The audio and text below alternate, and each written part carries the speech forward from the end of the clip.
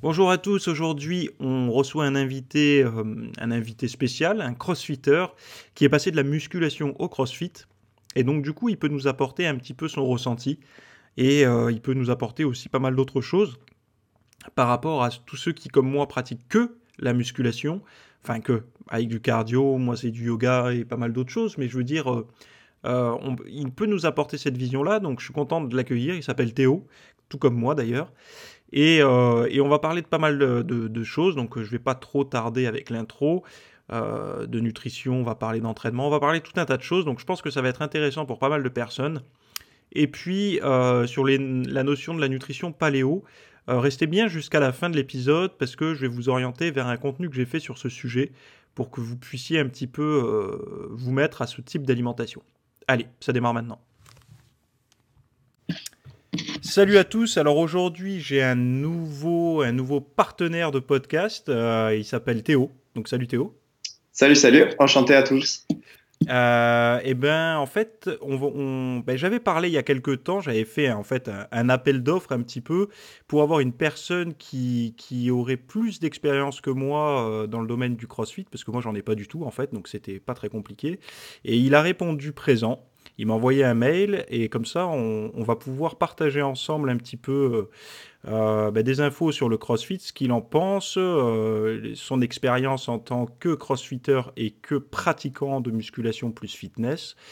Et bah, on va commencer par, une petite présentation. Est-ce que tu, peux en quelques mots te présenter? Ouais, bah, bonjour à tous. Voilà, moi c'est moi c'est Théo du coup, donc je suis coach sportif depuis quelques années maintenant. Et euh, en fait, voilà, j'ai un parcours euh, un petit peu similaire euh, à Théo du coup. Je, voilà, je viens, je suis un ancien surpoids. Enfin, j'étais en surpoids auparavant, donc du coup, c'est la raison pour laquelle je me suis mis au sport et que j'ai découvert en parallèle à ça ben, le fitness et, et la musculation. Donc rapidement, voilà, j'ai très vite eu des résultats par rapport à mon implication. Et du coup, de là, ben, on a découlé euh, de la motivation pour continuer, pour toujours aller un petit peu, un petit peu plus loin. Et je me suis lancé après, euh, du coup, dans le, ben, dans une formation pour devenir coach, étant donné que je me suis dit que ce qui avait marché pour moi pouvait peut-être aider les gens autour de moi. Et euh, c'est de là voilà, que depuis, euh, depuis quelques années maintenant, ça doit faire à peu près huit ans que je pratique, vraiment de manière intense et régulière. Voilà, j'ai pu euh, un petit peu toucher à tout et euh, je me suis en fait assez un petit peu dérivé de la musculation ces deux dernières années pour passer justement sur le sur le CrossFit qui était une discipline qui m'intéressait. Et euh, voilà. Donc globalement en gros pour le pour le gros de l'histoire je pense que comment as à quel moment t'es, qu'est-ce qui c'était quoi la problématique de la muscu pour que tu commences à t'intéresser au CrossFit? Alors en fait, euh, le, le, déclic, si tu veux, ça a été un petit peu, euh, un petit peu amené euh, un peu par hasard. En fait, donc voilà, j'ai, j'étais vraiment dans la muscu classique pendant pendant des années, jusqu'à vouloir me tester en compétition. Donc voilà, j'ai fait une compétition, compétition de force ou body? En body, ouais. J'ai fait, euh, j'ai fait un essai en body et euh, en fait, le, c'était la première fois que je le faisais. Donc, euh, j'avais déjà fait des petites sèches un petit peu, voilà, fait comme ça, donc de temps en temps avec, pareil, des phases de prise de masse, de sèche, etc. Mais je n'avais jamais vraiment fait une réelle sèche de compétition. Et en fait, j'ai pris une claque sur parce que je l'ai fait. voilà, moi, je suis quelqu'un qui m'investit à 200%. Et quand je fais les choses, je les fais toujours à fond. Donc, euh, pour, euh, voilà, je me suis pas dit c'est ma première, je vais y aller tranquille, etc. Non, j'ai vraiment, j'ai vraiment poussé mon corps, euh, bah, je pense vraiment à mes limites euh, physiologiques. et du coup, c'est vrai que j'ai eu du mal à, vraiment après la compète. Je suis descendu relativement bas en gras quand même, vraiment. J'ai jamais été aussi aussi sec de ma vie et du coup, c'est vrai que mon organisme a un petit peu peiné à s'en remettre et euh, j'ai eu une phase en fait sur 3-4 mois un petit peu de démotivation parce que je me suis rendu compte en fait à quel point j'avais perdu euh, en performance, euh, perdu en, en qualité physique, enfin que ce soit en cardio, etc. Et je me suis dit bon, j'ai j'ai envie de tester autre chose, j'ai besoin de voilà d'un renouveau, de quelque chose qui puisse me, me redonner la, me redonner la, la motivation que j'avais auparavant. Et en fait, du coup, ben en étant en formation, j'avais dans ma classe pas mal de, personnes qui pratiquaient justement le CrossFit. C'était il y a quelques années, donc ça commençait juste à arriver en France. Donc c'est vrai que moi je voyais ça un petit peu d'un œil, bah, je savais pas trop, voilà, je trouvais ça un petit peu bizarre le fait de mêler toutes toutes ces pratiques, etc. Et du coup je me suis dit, bon bah pourquoi pas essayer? Et au final en fait grosse surprise, j'ai tout de suite adhéré au principe et mhm. je suis très vite devenu devenu fan de de, de l'impact en fait de ce que ça vraiment ça produisait euh, comme euh, vraiment comme sensation euh, et depuis en fait j'ai pas réussi à m'en passer quoi. Donc ça fait maintenant deux ans. Ouais. Et voilà c'est du coup maintenant je pratique vraiment ce sport on va dire quasiment en, exclusivité même si je fais toujours de la musculation à côté et je garde toujours les bases que j'avais auparavant quoi. Et donc, quand tu disais que, hum, sortie de ta sèche, euh, tu as eu du mal à rebondir, etc., euh, est-ce que c'était plus euh, une perte de motivation par rapport à ton physique ou à l'état dans lequel tu te sentais, c'est-à-dire au niveau de ton énergie, etc. Alors franchement, pour être franc, c'était un cumul des deux. quoi. C'est vrai que j'ai vraiment été dans le mal au niveau, au niveau de l'énergie, même, même le fait de remanger après, etc. J'ai quand même mis 2-3 mois avant vraiment de m'en remettre. quoi. Euh, et, Elle a euh, duré combien de temps la sèche? Ah, La sèche a été assez rude. Je l'ai commencé en février, c'était pour mai. Donc euh, février, mars, avril, mai, et vraiment sans, sans aucun écart. Quoi. Vraiment à fond et vraiment zéro glucide pendant plus de trois semaines. C'est vrai que je l'avais jamais fait de ma vie, avec balance sodium, potassium, etc. Enfin voilà, vraiment déshydratation. Enfin, c'est c'est vrai que c'était des symptômes euh, que je ne connaissais pas quoi. Donc euh, c'était une grosse une claque quoi. Mais je pensais pas mettre autant de temps à m'en remettre justement. Donc c'est de là que la démotivation en fait est un peu arrivée. Et euh, à côté de ça ben, les perfs aussi forcément qui qui dès que tu reprends une barre ben voilà c'est il y a 30 kilos de moins par rapport à enfin vraiment c'était assez poussé ouais. et, et du coup qu'est-ce qui a fait que tes perfs sont remontés quand tu es passé au CrossFit? Bah après, il y a voilà, c'est tout, c'est euh, tout qui s'est enchaîné en fait de manière un petit peu, euh, un petit peu constante. C'est-à-dire que bah, j'ai recommencé à manger un peu plus, à augmenter mes apports, etc. À voilà, à retrouver, euh, à retrouver le goût de l'entraînement. Donc déjà rien que le fait voilà de d'être, ce que tu fais, quoi. voilà, c'est ça, c'est, c'est remonté. Et puis au final, voilà, j'ai repris confiance en mes capacités, en ce que je pouvais faire, et voilà, c'est comme ça que ça a découlé, que c'est remonté petit à petit, quoi. Mais ça a pris du temps quand même. Et ouais, ouais, mais en fait, ce qui est intéressant, c'est qu'est-ce qui a fait, euh, parce que moi je m'intéresse toujours à la psychologie, si tu écoutes un peu mes podcasts, qu'est-ce qui a fait que tu avais beaucoup plus de facilité à augmenter tes calories quand tu as démarré le CrossFit que avant quand tu étais sur ton ancienne pratique? Est-ce que tu savais que ça allait être plus taxant au niveau de l'énergie? Ou c'est parce que tu étais justement dans un bon élan de motivation, du coup tu avais plus d'appétit, etc. Il y a, moi, j'aime bien ce genre de. de, ouais, bien sûr. Moi aussi, je suis, euh, je suis assez intéressé par tout ça. Et euh, clairement, ben, ouais, c'est. En fait, pour te dire, euh, mes débuts en CrossFit, c'est, c'est, ça a été vraiment lamentable, quoi. Il faut le dire clairement. Je, en fait, j'ai pris conscience à quel point le fait, en fait, par exemple, de ne faire exclusivement de la. Parce que du coup, pendant ma phase de préparation, c'était vraiment de la de la musculation axée vraiment euh, donc optimisée tu, tu vois vraiment euh, voilà tant de tant de calories pour tel objectif euh, vraiment beaucoup de séries beaucoup de répétitions beaucoup de travail analytique etc pas de cardio sur la prise de masse enfin voilà c'était un petit peu un petit peu old school si on peut dire. Mhm. et du coup c'est là que je me suis rendu compte qu'en fait ben, premier point la première fois que j'ai fait un WOD en fait comme on appelle ça c'est vraiment c'est les entraînements type CrossFit ben, clairement j'ai pris une claque quoi clairement, je me suis rendu compte à quel point mon cardio était totalement à la ramasse. Et euh, à quel point, euh, enfin voilà, le fait d'enchaîner euh, en fait plusieurs mouvements comme ça à un rythme sans, sans récupération, etc. À quel point ça, ça me mettait dans le mal. Et c'est là que je me suis rendu compte. Je me suis dit, bon, du coup, il va falloir que, que j'optimise tout ça, donc que ce soit la nutrition, etc., pour, pour pouvoir encaisser, parce que la dépense, c'est vrai que elle est, elle est énorme, quoi. Même sur une durée assez courte, clairement, tu sens qu'à la fin, tu t'as plus rien, t'es vidé, es, et t'as besoin de manger. Si tu manges pas, bah, c'est, c'est, tu manges pas, tu peux pas avancer, c'est pas possible. Eh Impossible. Et ton physique, il a répondu comment à ça? Alors du coup, euh, moi, alors là, ce que je vais te donner, c'est vraiment mon, mon, point de vue personnel. Hein. C'est vraiment ce que j'ai ressenti sur moi. Donc hein. c'est voilà, c'est pas une, une, généralité. Mais euh, en fait, déjà de base, j'avais pas mal de déséquilibre quand parce que j'ai commencé la muscu euh, un petit peu, ben, pas forcément de la bonne manière. Et j'ai très vite euh, développé des points forts qui devenaient vraiment euh, bah, justement compromettants pour, pour mes points faibles. Quoi. À, à tel point qu'en fait j'avais tellement j'ai tellement de facilité en fait si tu veux par exemple à prendre des bras que euh, mon physique, euh, quand j'étais en prise de masse, par exemple, pour un période de compète, avait du mal à être équilibré entre euh, ben, les pectoraux, par exemple, les dorsaux, et par rapport aux bras. Et en fait, ce qui s'est passé, c'est que du coup, la variété d'exercices et le type d'exercices qui sont, qui, sont, qui sont faits en, en CrossFit m'ont permis de m'équilibrer un petit peu plus par rapport notamment au buste, à la cage thoracique, etc. Bah, c'est fou d'ailleurs parce que les, les, pectoraux, excuse-moi de te couper, hein, parce que il faut que tu t'y habitues, je coupe souvent en fait, parce que j'ai toujours des questions. Oui, oui. Euh, euh, ce qui est fou, c'est qu'on a tendance à penser que dans le crossfit, justement, les pectoraux, ça va pas forcément être le muscle qu'on va le plus travailler, quoi. Enfin, qu'on va bien recruter par rapport peut-être aux épaules.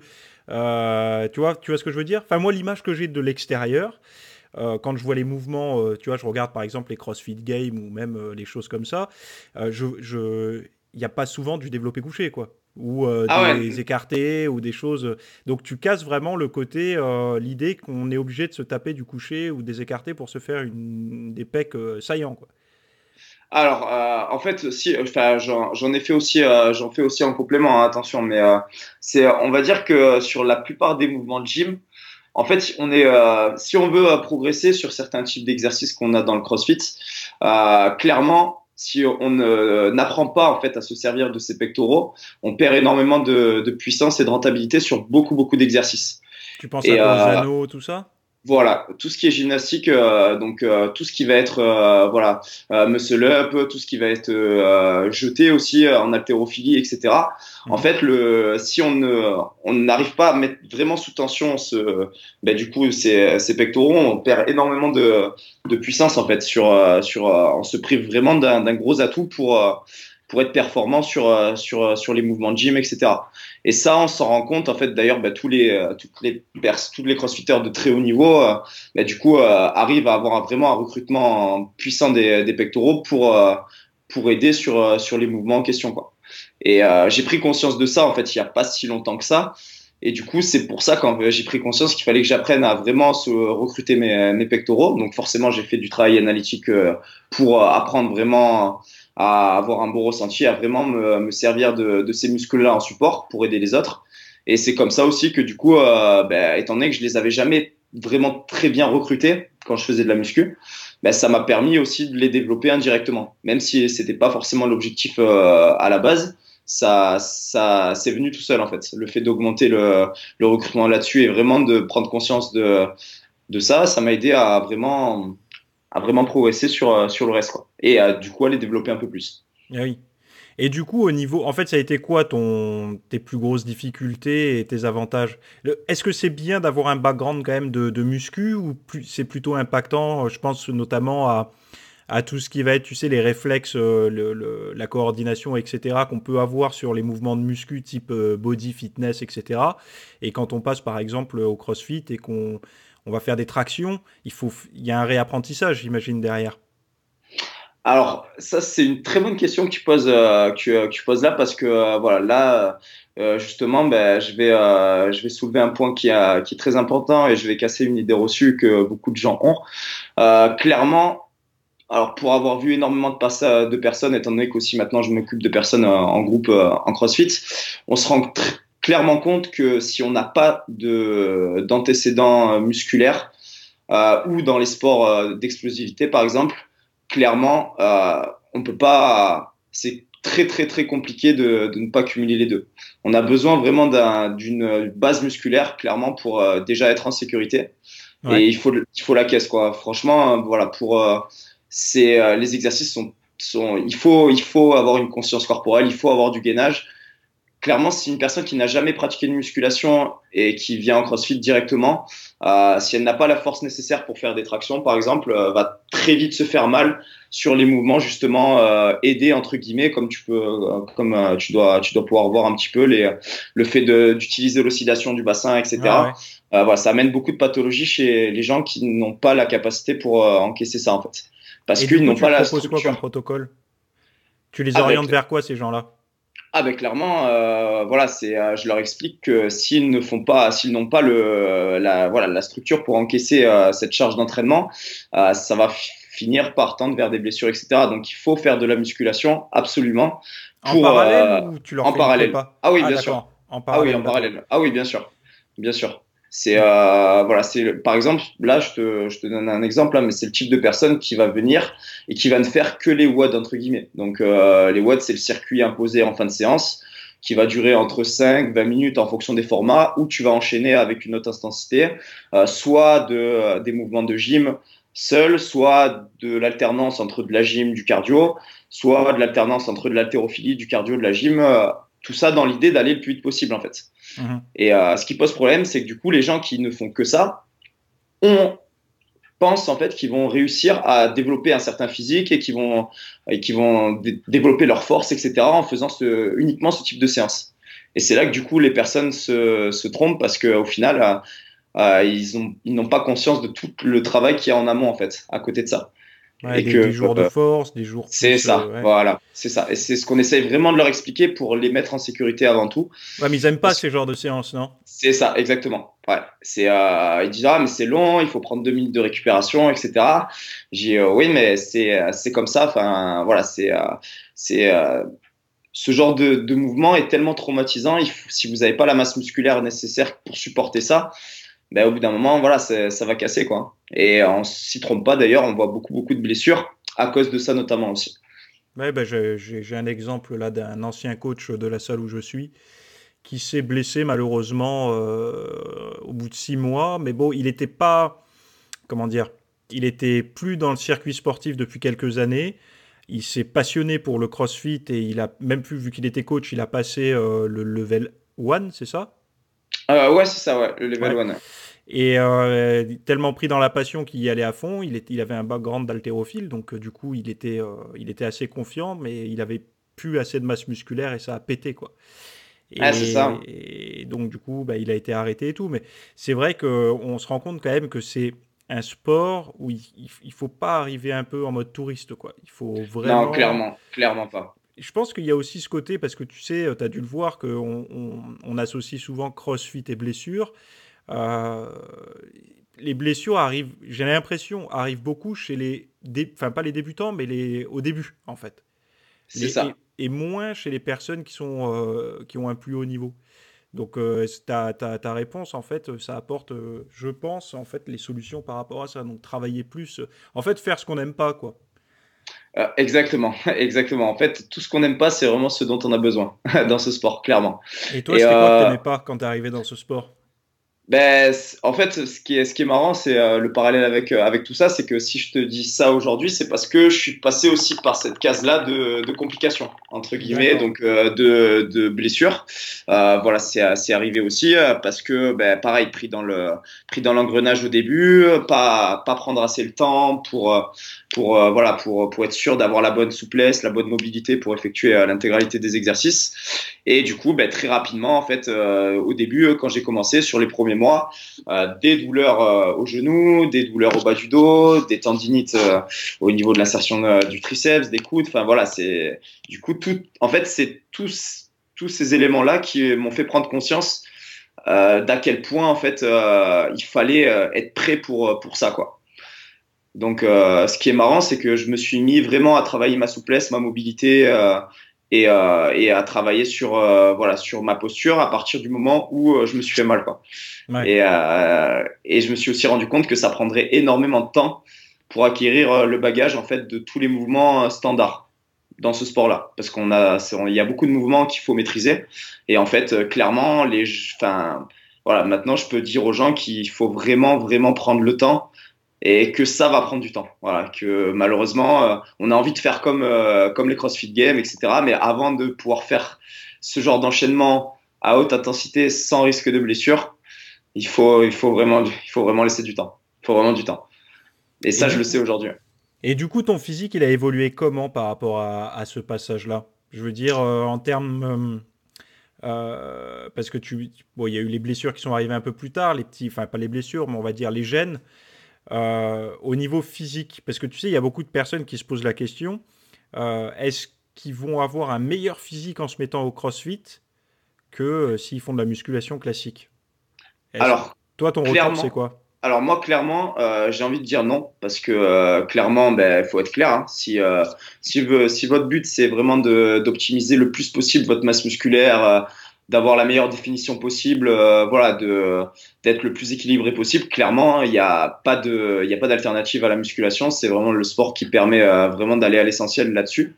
Donc ça, c'est mon constat hein, là-dessus. D'ailleurs, voilà, j'ai pas plus de masse musculaire entre guillemets que ce que j'avais euh, quand euh, je ne faisais exclusivement que de la muscu. Par contre, le, étant donné qu'on est uniquement sur des mouvements complets qui mobilisent en fait euh, vraiment le plus de muscles à chaque fois, parce que là l'idée c'est vraiment d'utiliser le plus de muscles possible pour être le plus rentable possible. Ouais. Donc dans ce sens, en fait, mon physique il a changé euh, par rapport aux proportions comme je te disais. Donc euh, j'ai un petit peu perdu en volume au niveau des bras, par exemple, par rapport à ce que j'avais euh, quand je faisais de la, de la musculation. Euh, par contre, j'ai gagné en définition au niveau de la sangle abdominale énormément. Et j'ai aussi équilibré mon bas du corps. J'ai énormément pris au niveau des jambes, bah, parce que après, voilà, ce qu'il faut savoir, c'est qu'en en CrossFit, on a une grosse partie haltérophilie et on est tout le temps en train de squatter, quoi. Donc, si tu veux, tu vas squatter trois fois par semaine, c'est la norme, quoi. Euh, donc euh, ça, plus euh, les mouvements d'altéro, tu es toujours en flexion, en profonde en plus, donc tu vas chercher des amplitudes relativement basses.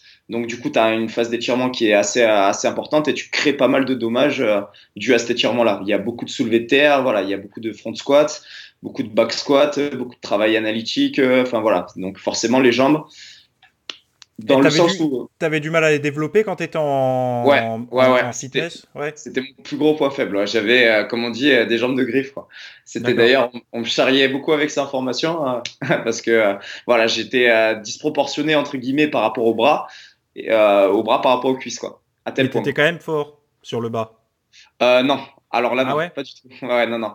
C'était, j'avais de gros soucis. Euh, j'étais, euh, j'étais vraiment en, galère sur mes charges au niveau des squats, etc. C'était pas, c'était pas ça, ouais. Relié à quoi? Tu penses que c'est les entraînements que tu faisais qui étaient pas bons ou euh, tu négligeais vraiment l'entraînement du bas du corps? Bah, c'est une accumulation en fait. C'est euh, c'est les erreurs que j'ai faites au début, puisque quand j'ai commencé la muscu au tout début, euh, voilà, un peu comme beaucoup de gens, hein, enfin je crois, enfin je pense de toute façon, on fait un peu sauter le bas du corps. C'est sur les premiers mois, les premières années, et euh, on s'en mord un peu les doigts à la fin quoi. Parce que du coup, euh, tu te rends compte, enfin voilà, on arrive, on développe une bonne masse musculaire entre guillemets sur le haut du corps, et au final, on s'intéresse pas aux jambes. Euh, dans les premières années, on veut des pecs, on veut des bras, on veut du dos. Ça, je pense qu'il y a beaucoup de personnes qui se reconnaîtront. et, bah, moi, le premier. Euh, hein. Ah oui, non, mais j'assume totalement. Hein. Du coup, euh, moi le premier, c'est pareil. Hein. J'avais besoin d'avoir un pote pour faire les cuisses. je me rappelle au début, quand on se mettait sous la presse, fallait pour se motiver, fallait être au moins à deux, alors que les bras, les pecs, tu pouvais le faire tout seul, il n'y avait pas de problème. Bon, après, ça a vite changé parce qu'ils ont tous abandonné. Il y a que moi qui suis resté, j'avais pas le choix. Mais c'est vrai que les cuisses, c'est bah, en même temps c'est pas c'est pas ce qu'on a envie de développer hein, quand on est un mec c'est exactement ça c'est ça. on se voit dans la glace euh, on veut les abdos les pecs les bras quoi. Et clairement on s'en mord les doigts hein. et en fait ben ça le, ce qui a été ce qui a été bien aussi du coup c'est euh, c'est le fait de me rendre compte à quel point euh, les jambes étaient omniprésentes dans ce sport. Et j'ai pris conscience qu'en fait ben, il y a tout qui part de là.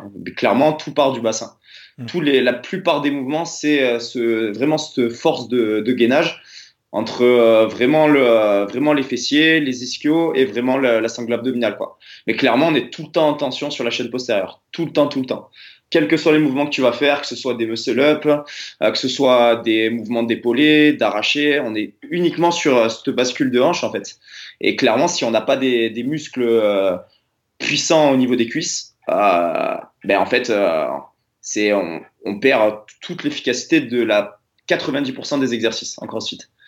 Tout part de, de, cette mise sous tension en fait et de cette force au niveau du bas du corps.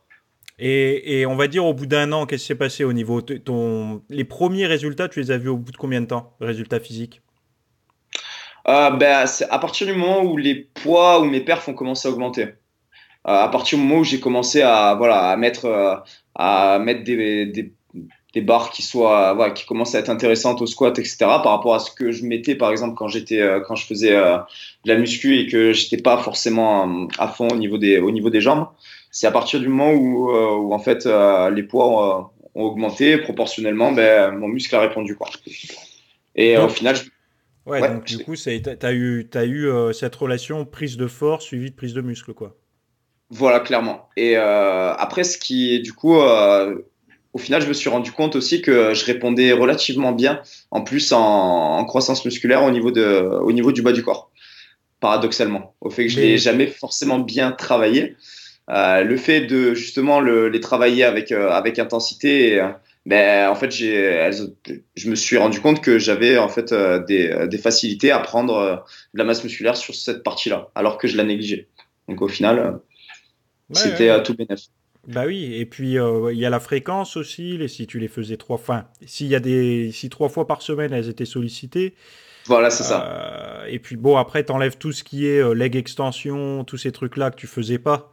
Donc les gens, les gens qui nous écoutent, ils disent trois fois les cuisses, non, mais parce qu'ils pensent eux en, en termes body, je pense, ou euh, tu vois, en oui, 5 exercices, etc. Toi, c'est, euh, on est d'accord, c'est euh, quand tu dis tu squats, quoi. Tu, ou alors tu fais des, oui, voilà, des choses comme ça. Oui, voilà, c'est ça. Donc, c'est, il y a ça, puis il y a aussi quand tu travailles spécifiquement en haltérophilie, il y a beaucoup de, il y a beaucoup de, de, travail en fait de mise sous tension, donc qui ressemble un petit peu à des soulevés de terre, mais avec des amplitudes plus importantes où tu vas quasiment être en position de squat au départ et euh, tout en effectuant des tirages lourds, en essayant de recruter un maximum de fibres pour euh, être le plus explosif possible. Donc euh, au final, ça accumulé. Donc si je te prends un exemple, hein, par exemple une séance, une semaine type, ça va être back squat le lundi en force, le mardi ça va être ça va être épaulé, donc pareil départ au sol avec flexion de flexion de, de hanche. Le mercredi ça va être front squat, le jeudi ça va être soulevé terre. Donc au final, le volume global de, euh, de, travail sur les jambes est quand même suffisamment conséquent pour, euh, pour créer une croissance. Quoi. Ouais. Et, et, au niveau des courbatures, comment ça se passe? Ah ben clairement, euh, les courbatures, on s'habitue à vivre avec, quoi, hein, parce que ça laisse, ça laisse des traces. Quoi. On en a. C'est les mêmes en muscu qu'en CrossFit? Alors non, c'est, on va dire que, alors au niveau de, au niveau sur sur le haut du corps. Euh, les courbatures sont beaucoup moins présentes, forcément, parce qu'on va moins être euh, sur, euh, on va moins être sur le même type de travail, donc on va avoir un peu moins de dommages. Par contre, c'est vrai que sur le bas du corps, étant donné qu'on est quasiment tous les jours dessus, c'est vrai que ça laisse un petit peu plus de traces, quoi. Mais elles sont globalement moins intenses que si on faisait vraiment une grosse séance cuisse unique, par exemple. Elles sont plus plus réparties dans la semaine, on va dire. C'est plus ça permet, ça permet de pouvoir se rentraîner derrière. Quoi. C'est pas, c'est pas non plus euh, au point de. Non, c'est pas handicapant. Par rapport à une séance de muscu euh, où tu ferais, admettons, euh, du squat sumo, euh, enchaîné avec du soulevé de terre jambes tendues, enchaîné avec. enfin voilà. Donc. Comment tu répartis, toi, tes séances, je veux dire, par rapport à ce qui est euh, ben on va dire force, euh, wood, euh, cardio, enfin tous ces trucs. Comment tu, c'est quoi ton programme type? Alors moi j'ai une, une, planification j'ai un petit peu un petit peu différente de celle qu'on donne par exemple aux gens. dans le sens où, alors ce qu'il faut bien comprendre, c'est que voilà, je suis coach sportif, donc j'ai voilà, j'ai une grosse tranche horaire au niveau de ma salle et mhm. j'ai la possibilité de m'entraîner autant que je le souhaite entre guillemets et j'ai le temps qu'il faut. Donc euh, voilà, ce que, ce que je fais est adapté par rapport à mon mode de vie, à ce que je peux faire. Et donc du coup, j'ai des séances qui sont relativement longues, euh, voire des fois je coupe en deux dans la journée quand je, le, quand je peux le faire. Donc euh, typiquement, je vais avoir euh, sur une journée type, par exemple, je vais avoir un premier. Euh, alors il y a beaucoup d'haltérophilie aussi hein, en CrossFit, on travaille beaucoup beaucoup sur euh, sur l'haltéro, donc ça, ça prend une grosse partie. Donc une répartition type, ça va être le travail le plus taxant nerveusement et le plus compliqué techniquement au début. Donc, euh, ben, ça va être notre complexe d'altéro, par exemple, qu'on va faire pour commencer. Ouais. Après, ça va être, euh, après, ça va être notre travail de force, qui, euh, qui d'un point de vue technique, est plus facile. Donc, du coup, euh, voilà, il y a moins de, moins de facteurs, euh, moins de facteurs de coordination, de risque. Donc, on le place juste après. Et ensuite, on va avoir notre travail de Metcon euh, ou WOD en fait en fonction de ce qu'on de ce qu'on doit faire dans la semaine. Donc, euh, soit un format assez court, intense. Donc, euh, on mhm. a par exemple un sprint. Un sprint, c'est quelque chose qui va durer moins de 5 minutes. Où clairement, voilà, le but c'est vraiment intensité max et aller chercher le, le, plus rapidement possible. On va avoir après du, du mi-long, mi-court, on va dire entre 8 et 10 minutes où là, pareil, on est sur de l'intensité assez haute, mais on est quand même euh, plus dans la gestion que sur un, sur un sprint. Et après, on va se retrouver avec des formats qui vont aller de 15 à 25 minutes max, où là, on est vraiment sur de la résistance. Euh, et donc après, ça dépend du thème du jour, ça dépend de comment on a planifié la semaine, mais ça peut être, euh, voilà, ça peut être soit euh, accentué sur le conditionnement métabolique, soit accentué sur euh, l'haltérophilie et sur le travail de, voilà, sur le travail de gym. Ça dépend après. Ou un cumul des trois, ou un cumul des trois avec du coup des composantes cardio, gym et haltéro. Ça dépend. D'accord. Et avec ça, tu arrives à faire combien de séances par semaine en tout? Euh, alors, euh, moi, je fais pas mal de séances. Euh, combien de temps tu te reposes? Ça ira plus vite, non? Ouais, combien de temps je me repose, ça ira plus vite. Ben, en fait, je fonctionne un peu, un peu comme toi, si tu veux, dans la manière où, où je le, j'ai suffisamment d'expertise maintenant pour savoir quand, quand je suis, quand je peux y aller ou pas, quoi. Clairement, je m'écoute, donc j'ai pas de format type. Je vais pas me dire je vais, je vais faire euh, lundi, mardi et mercredi repos, euh, jeudi, vendredi. Euh, non, par exemple, euh, des fois, ça m'arrive de m'entraîner le, samedi, le samedi, dimanche et de, me, de récupérer le lundi. Enfin, voilà. Globalement, j'essaie de laisser un jour de repos total dans la semaine. Ouais. Et après, c'est vrai que les, que les facteurs sont tellement différents. En fait, chaque, si, si notre entraînement est bien cadré, on est tellement sur des composantes énergétiques qui, qui sont opposées qu'en fait, on a possibilité quasiment de s'entraîner, euh, si on peut le faire, bien sûr, quasiment tous les jours sans forcément être en surentraînement. Si on gère bien tout ça, tu vois, c'est un peu comme, euh, comme en muscu ou si, euh, voilà, forcément, si tu, tu, fais trois fois du développé couché dans la semaine, ça va être compliqué. Donc voilà, c'est un peu le même principe. Donc par exemple, quand on va avoir, c'est sûr que si on fait des watts qui vont durer 35 minutes, euh, clairement, ben, ça va nous, ça va nous tuer la semaine, quoi. Si t'en fais un le lundi, un le mardi, un le mercredi, euh, l'intensité, elle va, elle va pas y être, quoi, parce que c'est trop, c'est trop, trop violent, comme. Euh, eh oui, oui. Donc c'est le même principe, en fait. Hein, la gestion, elle se fait pareil. Mais moi, en fait, je me dis que s'entraîner tous les jours, vraiment tous les jours, c'est possible à partir du moment où les conditions extérieures ne changent pas, ne changent jamais, en fait. Mais dès que, par exemple, euh, bon, toi, tu es coach, euh, si tu as un problème avec un client ou si, euh, enfin, je sais pas, une raison X ou Y, que tu te rajoutes du stress, ça, tu peux pas le prévoir, malheureusement, c'est les imprévus. Et je pense que plus on arrive à avoir des bonnes habitudes de vie, être le plus routinier sur tout ce qui est diète, sommeil, etc., plus on va pouvoir s'entraîner régulièrement. Euh, à partir du moment où l'entraînement il est, il est cohérent aussi, hein, comme tu disais tout à l'heure, où on gère son intensité, etc. Mais les personnes qui peuvent pas souvent s'entraîner parce qu'elles sont épuisées, au-delà des, personnes qui font vraiment de la force athlétique et qui, elles, ont besoin de récupérer euh, très, très longtemps, Sinon, les autres, euh, c'est souvent dans leur organisation qui. En fait, tout ce qu'il y a autour de la salle de sport, quoi. C'est pas l'entraînement lui-même, c'est vraiment tout ce qu'il y a autour. C'est ça. peut, on peut facilement monter à 4-5 entraînements par semaine, même euh, si on vient de zéro sport, à partir du moment où on comprend que le sport, c'est pas juste à la salle. Quoi. Bah, je suis, ex je suis complètement d'accord avec toi sur ce point-là. D'ailleurs, bah, si, euh, voilà, moi, j'aimerais bien aussi euh, faire un, petit parallèle là-dessus, c'est que du coup, beaucoup de personnes, je trouve, s'inquiètent d'être en surentraînement. Euh, alors que, euh, enfin, c'est vrai que c'est un petit peu culturel, hein, euh, c'est marrant, mais c'est vrai qu'en France, bizarrement, enfin, on, on, aime bien en faire moins que plus. Et le fait de faire plus de trois séances par semaine pour certaines personnes vont, vont, déjà commencer à s'inquiéter de, de, leur récupération. Il faut, faut, se rendre compte vraiment de, que trois séances par semaine, ça ne représente pas grand-chose quoi, en termes d'heures. Sur, vraiment sur, sur une semaine entière, voilà, c'est euh, à partir du moment où c'est fait de manière euh, intelligente, où, c'est, euh, où tout est planifié par rapport au mode de vie de la personne, au temps qu'elle va avoir à disposition, à, à ses objectifs, etc. Moi, je vois aucune contre-indication justement à faire plus que, que trois séances, voire même quatre, voire même cinq, dans la mesure où ce soit fait de manière intelligente. Quoi. Ah Et tu vois, enfin, c'est vrai que ce, ce débat-là, de, c'est vrai que nous, on, En France, on est, euh, on est, je crois, les, on est sur la, en tête de liste de la consommation des antidépresseurs et des, somnifères, donc ça indique un petit peu l'état de notre système nerveux.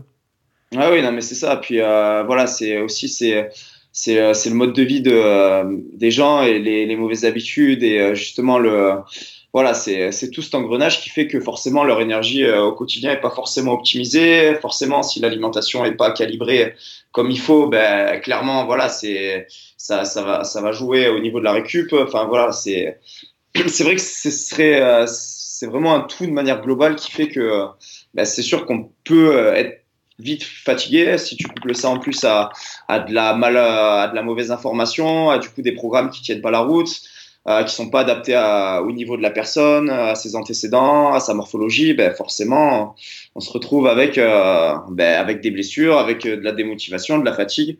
Mais c'est vrai que euh, voilà, c'est totalement évitable et, et, totalement en adéquation avec le fait de pouvoir faire 5, 6, 7 séances dans la semaine. Quoi. voilà. Ben pour revenir un petit peu au crossfit, etc., est-ce que au niveau de ta diététique, c'est devenu plus confortable?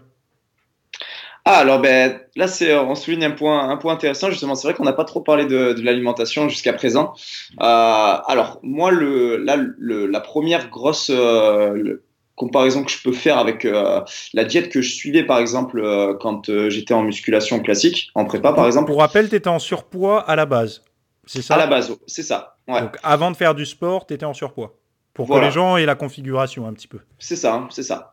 Et euh, en fait, euh, clairement, euh, j'ai clairement boosté mon métabolisme à un point que je ne pensais pas forcément possible en faisant ce type de, de sport-là, en fait, vraiment à haute intensité.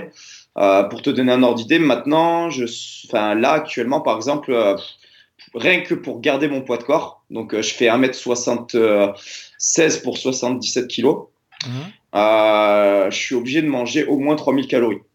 D'accord. Voilà. Donc euh, ça, c'est uniquement pour garder mon poids de corps. Voilà, donc si je mange moins, un, un petit peu moins, je, perds du poids. Ce donc, qui est pas mal parce que, as, comme on disait, euh, tu as, as, une tendance, enfin, à la base, à être en surpoids.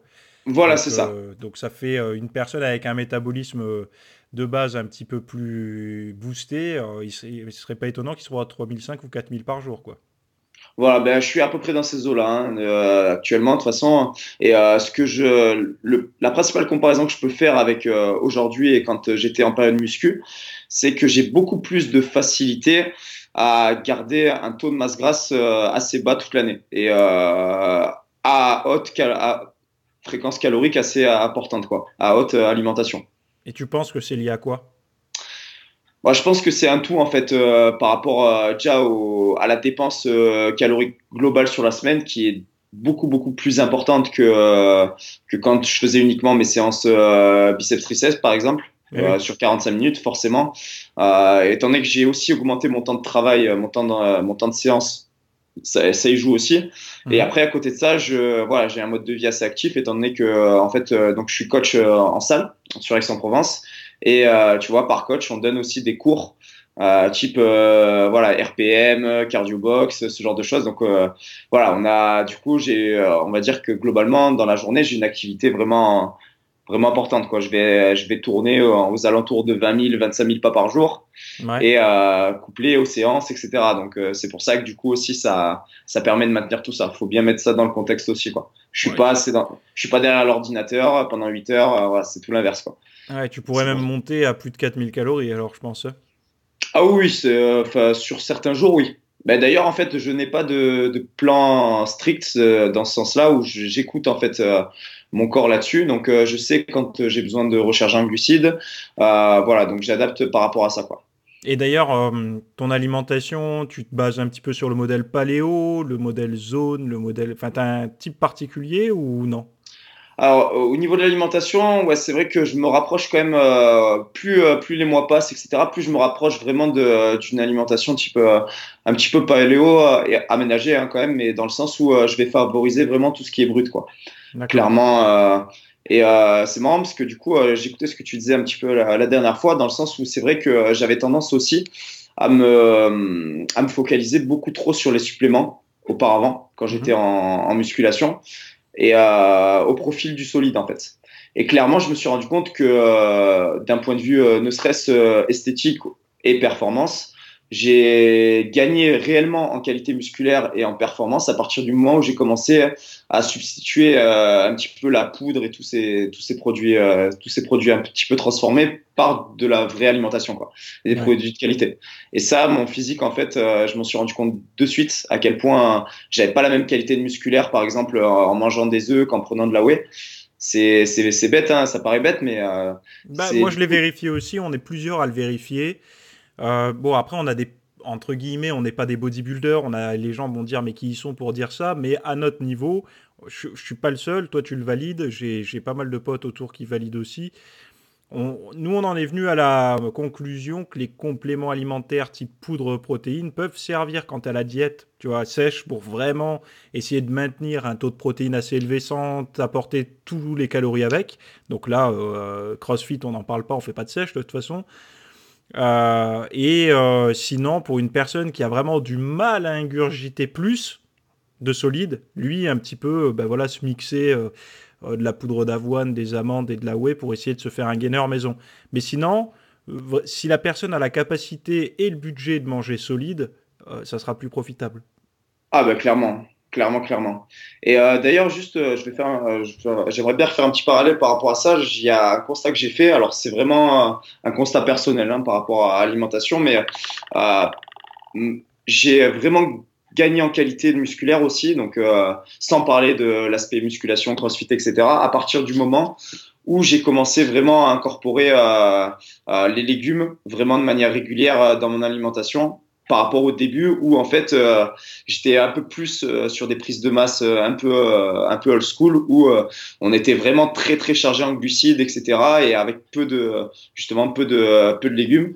Et clairement j'avais pas du tout le, le, même rendu quoi. Et ça je me suis rendu compte et je pense que ça peut être intéressant pour les gens qui, qui nous écoutent justement de, d'avoir ce, voilà c'est ça moi j'ai pas eu ce problème et d'avoir ce témoignage-là, du coup, parce que c'est vrai que c'est vraiment un, constat que j'ai fait, euh, surtout au niveau de la répartition et de la, qualité, au niveau de la sangle abdominale, de la qualité de peau, etc. C'est, quelque chose vraiment, je trouve, qui a, qui a vraiment changé à, à partir du moment où j'ai incorporé ça de manière vraiment constante. Quoi. Ben ouais, et puis après, il euh, y, a des gens qui se demandent pourquoi ils ont tout le temps faim. Ils ont tout le temps faim, ils ont tout le temps faim, ils mangent pas forcément bien, ils mangent pas trop de légumes et ils ont tout le temps la dalle. Et le problème qu'ils ont, en fait, ces gens-là, c'est qu'ils n'arrivent pas à comprendre que leur corps leur réclame pas forcément des calories, mais leur réclame les micronutriments, vitamines, minéraux, les enzymes, tous ces trucs, tous ces trucs-là.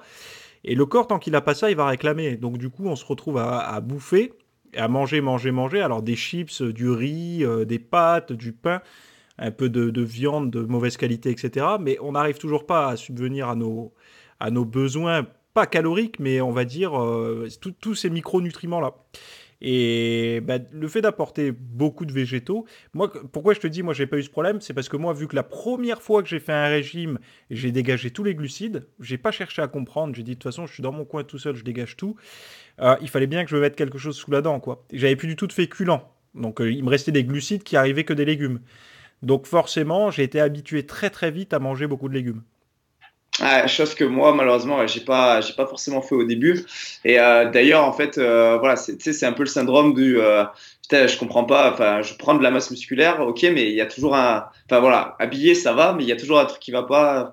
Au niveau de euh, voilà, au niveau du tour de taille ben c'est c'est c'est ça c'est voilà c'est ça reste quoi ça ça se bloque euh, ça part pas. Et c'est vrai que ça a été vraiment une galère de après d'avoir fait cette erreur-là pour, euh, pour lever euh, tout ce gras entre guillemets euh, localisé au niveau de voilà autour de autour de, du ventre pour le perdre c'est vrai que ça a été ça a été compliqué quoi. Et ça je m'en suis rendu compte aussi en changeant aussi mon approche au niveau de l'alimentation quoi. Ben ouais. Et puis de toute façon quand tu apportes beaucoup de légumes comme ça tu t'en rends compte. En, règle générale après les repas moins d'une heure après les repas tu as envie de pisser parce que tu apportes plus d'eau c'est ça, euh, exactement. Tu, tu, te rends compte que tu bois moins durant la journée. Tu es plus obligé de te forcer à boire parce que tu apportes beaucoup plus d'eau, euh, tout simplement. quoi. Et ça, euh, moi, je le vois souvent, les personnes qui, qui, boivent énormément d'eau par soif, tu sais, un peu par compulsion, c'est souvent des gens qui mangent mal, en fait. Parce ah bah, que leur nourriture les déshydrate complètement. Ils bouffent du sec et le sec arrive et le sec a besoin d'être hydraté. Donc ça, ça tire toute l'eau qu'ils ont dans le corps Et du coup, ben voilà. Alors qu'on peut manger et s'hydrater en même temps sans boire de l'eau, quoi. Enfin, pendant le repas, je parle. Ah oui, c'est clair. Moi, c'est de toute façon, euh, c'est vrai que du coup, euh, je bois énormément pendant la pendant mes séances.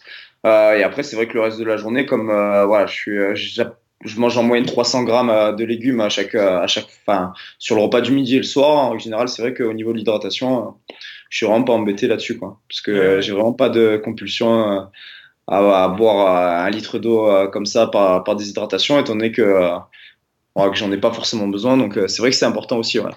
C'est bien de le souligner. Bah, surtout pour, je pense, pour ta pratique qui est quand même. Euh, euh, moi, je les vois parce qu'il y a une salle euh, à côté où je, vois, je les vois faire leur WOD. ils sortent dans la rue en plein été, ils tapent le, le, le, cardio autour du, de la boxe. tu as intérêt à être bien hydraté, quoi. Ouais, on perd vraiment pas mal, on, on perd énormément d'eau, hein, vraiment ouais, pendant les séances. En plus, moi, je suis quelqu'un qui transpire beaucoup, donc c'est vrai que. c'est vrai que la perte... ou c'est arrivé après ça? Euh, non, en fait, c'est plutôt c'est génétique, je pense. Hein. C'est un petit peu, c'est un petit peu de famille. Euh, ça, on transpire tous euh, plus ou moins, plus ou moins beaucoup. Donc, euh, tu vires la flotte. Voilà, c'est ça. C'était ça, c'est l'avantage. Donc l'été, c'est l'été, c'est une catastrophe. Mais du coup, voilà, c'est vrai que sur sur les sur les entraînements, c'est il y a une grosse, il y a vraiment une grosse perte, une grosse perte en eau, quoi. Et clairement moi, c'est euh, c'est euh, c'est pour ça que du coup, euh, avec tout tout ce qui est associé à ça, si on ne mange pas de, on fait pas attention à cette partie-là au niveau de l'alimentation, en faisant ce type de d'effort-là, clairement, on va vite être carencé et ça va vite être compliqué, quoi, au niveau récup, etc. J'espère que tu sales. ah oui, ça, oui, oui. Ben, D'ailleurs, j'ai recommencé à saler à partir du moment où je faisais, où je me suis remis à, enfin, où je me suis mis vraiment à ce sport-là quasiment à 100% quoi parce que c'est vrai que dans ma période vraiment prépa euh, le sel c'était euh, c'était banni à 100% forcément ouais. moi j'ai jamais vraiment coupé euh, je prends un sel bon et après les gens ça va peut-être pas les intéresser je prends du sel rose tu sais d'Himalaya ouais moi aussi j'ai le même donc je, je, reste là-dessus j'en abuse pas mais j'en ai je pense que quand tu manges sainement des aliments bruts T'as pas trop te poser la question euh, est-ce que j'enlève le sel? Tu peux y aller, quoi. Enfin, je veux dire, euh, nous, enfin, quand tu es sportif et que tu transpires, tu bouges, etc., on en a quand même besoin, c'est un équilibre. Euh, et puis, je, je pense pas qu'il y ait une différence, honnêtement, à manger sans sel ou avec sel, même au niveau physique. Enfin, pas chez tout le monde, en tout cas. Moi, je sais que si je vire le sel, j'aurais pas de différence. Hein. Au contraire, je vais peut-être même faire plus de flotte, me sentir vraiment pas bien. Il euh, y a des gens euh, qui pensent que manger sans sel, c'est un petit peu magique. Moi, je pense que quand tu fais correctement ton régime, je parle pour être sec, normalement, tu devrais pas trop avoir besoin de le couper le sel. Mais bon, moi, j'ai jamais coupé le sel, pour te dire, euh, sauf le dernier jour peut-être de mon premier shooting photo, j'avais essayé, il n'y avait pas réellement de différence, quoi. Ouais, non, mais moi c'est moi c'est pareil. Au final, je l'ai, euh, je l'avais coupé que vraiment pour la pour la compétition, mais après pour euh, pour les petites sèches entre guillemets que que j'avais déjà faites auparavant, euh, je, non, j'avais j'avais toujours gardé un un apport en, sodium, on va dire constant, enfin sans sans abuser, mais jamais en prenant trop la tête là-dessus. Et après, de toute façon, ouais, c'est clair que forcément, déjà, on se rend pas forcément compte aussi de à quel point il y a du sel dans, dans les aliments industriels, etc. Et déjà, rien que le fait d'enlever ça, bah forcément, c'est pas une pincée qui va, qui va changer quelque chose. Quoi. C'est, euh, eux, ils enlèvent une. Là, quand t'enlèves toute cette merde, t'enlèves une poignée. Ah, c'est énorme. C'est énorme. Ne serait-ce que du, le, bah, du pain, rien que du pain. Tu t'arrêtes de manger du pain, déjà, t'enlèves pas mal de sel. Hein. Ah ouais, c'est euh, ouais, c'est vrai que c'est c'est vrai que c'est affolant. Hein. Des fois, euh, je me surprends en train de regarder l'étiquette de certains produits que je prenais peut-être forcément auparavant, euh, comme par exemple les blancs de poulet euh, sulfurisés, etc. Euh, les quand tu vois que pour 100 grammes, tu as 1,5 g de sel. donc, si tu veux ton apport en protéines avec ça, ben, il, te, il te faut prendre 4, 3, 4, ouais, même 4, 5 tranches. Ça te fait direct 5, 6 grammes de sel. c'est vrai que c'est, ça, ça, ça, fait un choc hein, quand tu te rends compte de ça. Au final, 5 grammes euh, pour les avoir dans la journée. Encore, c'est du blanc de poulet, c'est ça va. Imagine, euh, je te dis, les, tout ce qui est euh, euh, bah, les barquettes surgelées, les trucs comme ça, des petits plats tout faits là. Donc là, ah oui, là il le noix dedans, là. Hein. Il, y a, il y a ça, plus du sucre, au cas où, tu vois. ah oui, non, mais de toute façon, c'est vrai que c'est vrai que là-dessus, je fais maintenant. C'est vrai que je m'intéresse beaucoup aussi à, l'alimentation depuis toujours et c'est vrai que je me rends compte de, certaines de certaines merdes que j'ai ingurgitées, quoi, clairement, parce que je me dis putain, je mangeais ça, c'est alors que il y a vraiment hein, la liste, il y a 50 ingrédients dedans. Je dis putain, c'est vrai qu'aujourd'hui, c'est un réflexe de, de m'éloigner de tout ça. Quoi. Ouais, ouais, non, mais de toute façon, c'est une bonne chose de mieux manger, on va dire. Et puis surtout, si tu as une activité soutenue comme ça, as, enfin, je veux dire, tes cellules, elles ont besoin de se régénérer avec des bons matériaux. Quoi. Mais après, euh, euh, au niveau de, pendant l'entraînement, est-ce que tu as une routine euh, Je ne sais pas, est-ce que tu prends dextrose, des choses comme ça Ou est-ce que tu es plus sur de l'eau et puis tu as des collations avant-après Comment tu fonctionnes? Parce qu'il faut tenir quand même. Les séances durent combien de temps? En moyenne, deux bonnes heures. Ouais. deux, bonnes heures. Et comment tu fais? Tu tournes au beurre de cacahuète comme il faisait euh, Froning euh? Euh, Alors, en fait, donc moi, je, en fait, je vais manger avant, après et pendant. Je vais, alors, je vais pas avoir une solution avec du dextrose parce que j'ai déjà essayé par le passé et ça me réussit pas trop. je suis pas, j'aime pas trop le fait que ce soit dilué, etc. Par contre, ce que je vais, ce que je vais avoir, c'est forcément c'est des BCA pendant l'entraînement, quoi. D'accord. Ah, pour euh, ça, clairement, voilà, c'est vrai que c'est vraiment ce que je vais avoir à chaque séance. Parce que euh, du coup, voilà, c'est euh, j'ai clairement ressenti le, le, la différence sur des séances de deux heures au niveau de justement de l'énergie, etc. voilà, pour moi, c'est vraiment un des seuls compléments alimentaires qui serait indispensable au jour d'aujourd'hui, quoi, avec les oméga 3. Ouais. Mais du coup, voilà, comment je vais me, je vais m'organiser? Donc, si je sais que la séance va durer à peu près deux heures, je vais manger euh, solide euh, une petite collation euh, une heure avant. Donc là, du coup, à ce moment-là, je vais peut-être prendre une whey pour justement pas avoir de problème au niveau de, de la digestion plutôt que du solide. Mhm. Donc je vais pas prendre forcément des œufs avant de, avant de faire une séance comme ça.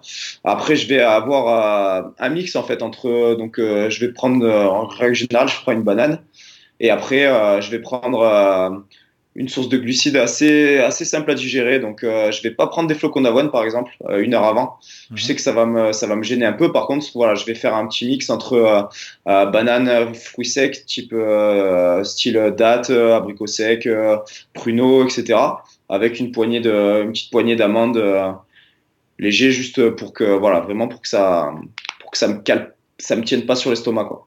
Et c'est vrai qu'en règle générale, j'ai pas du tout de soucis au niveau de la. Pendant l'entraînement, je suis pas gêné. Euh. C'est vrai que j'ai essayé beaucoup. Tu mixes tout ça ou tu le manges, euh, ce qui est solide, tu le manges solide et liquide, liquide? Non, solide, solide, liquide, liquide, ouais. Euh, je fais en sorte vraiment juste qu'il y ait vraiment au moins une heure entre les deux. Parce que j'ai déjà fait plusieurs essais. C'est vrai que selon ce qu'on doit faire, par exemple, quand on a des efforts cardio à haute intensité, franchement, c'est pour ça que je le fais en fin de séance d'ailleurs, parce que s'il n'y a pas au moins deux heures, deux heures et demie, ça remonte et t'as envie de vomir. Enfin, c'est horrible. Quoi. Ben moi, quand je faisais des sprints sur stade, euh, j'y allais le matin et il fallait que j'aille à jeun. Si je mangeais. Alors, je sais que les gens, ils peuvent se dire, mais à jeun, etc. Mais moi, je savais que si je, je perturbais un tout petit peu ma glycémie, et je me tapais une hypo pendant l'effort. Alors que si je la laissais tranquille, c'est-à-dire à jeun, euh, je pouvais faire l'effort et après je mangeais. Je faisais pas du tout d'hypoglycémie. Moi, je suis très sensible en fait à ça. Enfin, très, je suis pas très sensible, mais euh, disons que je pense que quand tu es un peu sur le fil du rasoir au niveau euh, apport calorique, euh, dépense calorique, tu as vite fait, en fait, de, si tu fais un, effort un peu plus intense, de, de, basculer. quoi.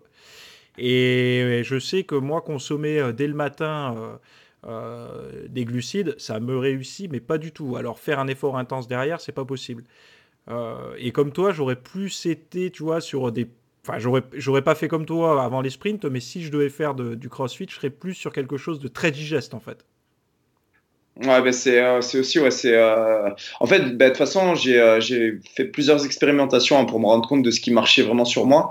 Donc voilà, au final, là, au jour d'aujourd'hui, je suis quelqu'un qui tolère assez bien les glucides et j'en ai vraiment besoin par rapport au type d'effort que c'est, parce que voilà, est, on est souvent en fait vraiment dans la filière où on va utiliser majorité le glycogène, euh, étant donné qu'on va être sur des durées en, termes de tension qui vont être toujours euh, sur les watts notamment, on va être vraiment sur euh, sur toujours entre les deux donc c'est vraiment de l'intensité et on est vraiment sur sur de la dépense à ce niveau-là donc c'est vrai qu'on a vraiment besoin d'avoir un enfin moi, en tout cas, j'ai vraiment besoin d'avoir un apport en glucides constant dans la journée pour, pour recharger mes stocks. Quoi.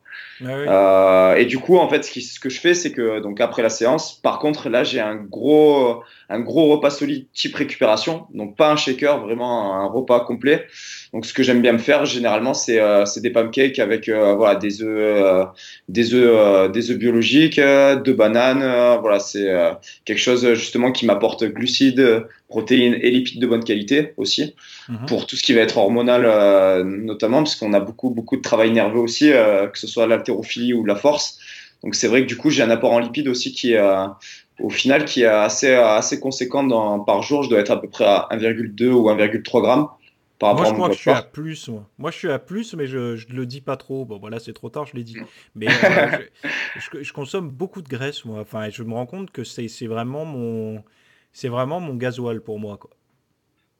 Ben, moi, c'est vrai que euh, ça me réussit pas mal aussi, mais c'est surtout que, en fait, j'en ressens le besoin quand je suis. Ça, ouais quand je suis sur des efforts vraiment, enfin quand je suis vraiment sur des cycles euh, de force, etc. Euh, clairement, j'augmente mon apport en fait euh, quasiment instinctivement parce que parce que je sais que je sais que c'est ce qui va me permettre de d'optimiser au niveau hormonal et de récupérer d'air. Parce que c'est vrai que j'ai l'impression que moi ça marche un peu, tu vois, au niveau je sais pas, au niveau euh, thermostat, la graisse alimentaire, ça te, fait monter un peu le thermostat euh, intérieur. Quoi. En hiver, en manger plus, ça fait du bien. Euh, moi, je sens que je suis naturellement plus appelé par des fois. De, la dernière fois, je voulais prendre de la viande rouge, j'ai pas pris de la 5%. Il me fallait du gras, en fait. J'avais besoin de viande grasse et je ressens le besoin en fait. Je suis attiré par ça. C'est mon corps qui me le demande. Je sais pas comment l'expliquer, mais je sens qu'après je me sens bien. Tu vois, je mange ça et je me sens vraiment bien. Comme si euh, c'était. Euh, bah, il y a des gens pour qui ça, ça marche pas. Hein. Il y a plein de nanas et tout. elles ont pas envie, ça les dégoûte, etc. C'est, instinctif. Elles aiment pas ça. Moi, c'est plutôt le contraire. Je peux m'en passer pendant une semaine. De, je vais manger des viandes maigres, du poisson maigre, etc. Mais il y a un moment où je, suis appelé en fait par le, cette bouffe grasse. Je sais pas si ça te le fait toi aussi, mais. Ben, moi, clairement, c'est, euh, je pars du principe que dans la mesure où la, ce que je vais, euh, où la viande que, que je vais consommer ou les œufs que je vais consommer sont de bonne qualité, euh, que, ce soit le poisson aussi également, ben voilà, je pars, je pars du principe que, que justement c'est, du gras qui va, qui va m'être bénéfique et donc je vais pas forcément non plus être, être très à cheval sur le, le pourcentage de masse gras de, de la viande ou, ou autre, voilà, dans la mesure où c'est justement, je sais que j'en ai besoin en plus. Et c'est vrai que euh, voilà, je ressens vraiment les bénéfices euh, au fur et à mesure. Quoi. Donc euh, c'est vrai que je vais pas non plus, voilà, je vais pas me faire attention à ça. Et justement, c'est vrai que c'est, je, sens réellement l'impact que, que, que ça me fait d'un point de vue récupération quand, par rapport au fait que quand je consomme pas, par exemple. Hmm. Quand je, j'arrive à le ressentir. C'est vrai que du coup, je vais pas hésiter à mettre deux cuillères d'huile d'olive, par exemple. Enfin, voilà, c'est Ok. Euh, bon, ben, je pense qu'on a fait le tour. Est-ce que tu as envie de rajouter quelque chose? Euh, bah, écoute, euh, je, pense qu'on est pas mal, on est assez, on est assez complet. Hein. Après, peut-être que ce qu'on pourrait peut-être faire un petit, une petite parenthèse sur, sur peut-être les idées reçues et, l'avantage de cumuler peut-être les deux, les deux pratiques pour la plupart des euh, pour la plupart pour les gens peut-être lambda qui ont qui hésitent peut-être à se lancer ou qui euh, qui justement ont un peu de, voilà, ont un peu des fausses idées là-dessus. Je sais pas si ce que tu en penses. Euh. Bah, la meilleure idée reçue, c'est les crossfitters, ils sont tous secs et musclés. je vais plutôt faire ça à la place de la muscu. Ouais, alors celle-là, ouais, c'est, c'est, celle-là, je veux bien, je veux bien étaler un peu dessus. donc clairement, voilà, pour, faut être franc, hein, c'est, c'est totalement faux. Euh, c'est en fait faut faut bien prendre en compte que que les gens qui sont comme ça, enfin voilà, qui sont comme euh, ceux qu'on voit à la télé, ont des antécédents sportifs vraiment énormes, ont un gros bagage de gymnastique, d'haltérophilie, enfin voilà, c'est leur masse musculaire, ils l'ont pas construit avec le CrossFit. Euh, ils l'ont eu par rapport à ce qu'ils ont fait euh, en amont et en fait euh, voilà le, le type d'effort qu'ils qu'ils font leur permettent de maintenir de maintenir cette masse musculaire imposante et permet d'entretenir justement le, le, doute entre pour savoir si c'est ça qui leur a fait prendre ce, cette masse musculaire ou pas. Donc moi maintenant pour être passé dans les deux, pour avoir voilà, pour avoir vraiment bûché les deux les deux catégories assez intensément, Je peux, je peux aussi dire que sur moi, voilà, c'est clairement mon physique, je ne le dois pas à la pratique du CrossFit. Euh, c'est euh, c'est ce que j'ai fait en musculation qui m'a amené sur, cette, euh, sur ce physique-là. Et le CrossFit, en fait, m'a juste permis, entre guillemets, de, de garder, en fait, de conserver une qualité musculaire euh, et une masse grasse relativement basse à l'année, mais sur les bases que j'ai construites euh, sur, sur la muscu. Donc euh, voilà, ça c'est vrai que je pense que c'est important de, de, dire ça parce que beaucoup de personnes hésitent à, à, à faire que, que l'une ou que l'autre par rapport à ça pour mhm. pas que pour des soucis de performance, pour des soucis esthétiques aussi. Et donc euh, voilà, clairement, c'est les deux sont les deux disciplines sont compatibles. Et euh, voilà, il y aura un choix à faire euh, en fonction de, votre mode de vie, en fonction de combien de temps vous êtes prêt, vous êtes prêt à investir dans la salle, à la salle par semaine. Euh, voilà, qu'est-ce que vous voulez réellement Si vous voulez vraiment juste optimiser votre physique d'un point de vue esthétique, le CrossFit va pas vous apporter ça. Il faudra vraiment se concentrer sur la muscu et mettre votre énergie à progresser sur euh, sur vos séances et à vraiment se concentrer euh, sur ça. Si vous voulez améliorer vos performances physiques, là à ce moment-là, le CrossFit peut se concevoir, mais il faut avoir conscience que le fait d'améliorer vos capacités physiques va pas forcément se répercuter comme vous l'attendez d'un point de vue esthétique si vous ne faites pas ce travail-là à côté.